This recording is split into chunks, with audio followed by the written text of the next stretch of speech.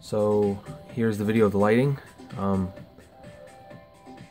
going forward with this in the future, if I use resin parts again, I will not be using SMDs inside because as you can see with lights, it's you could barely see it.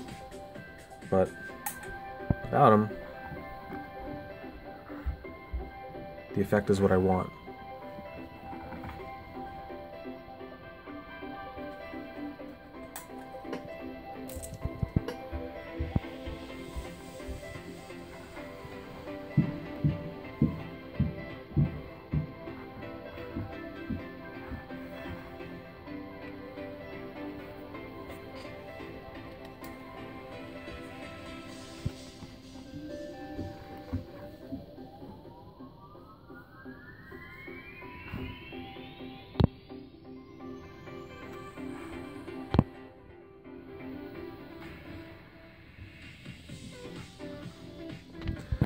Thanks for watching.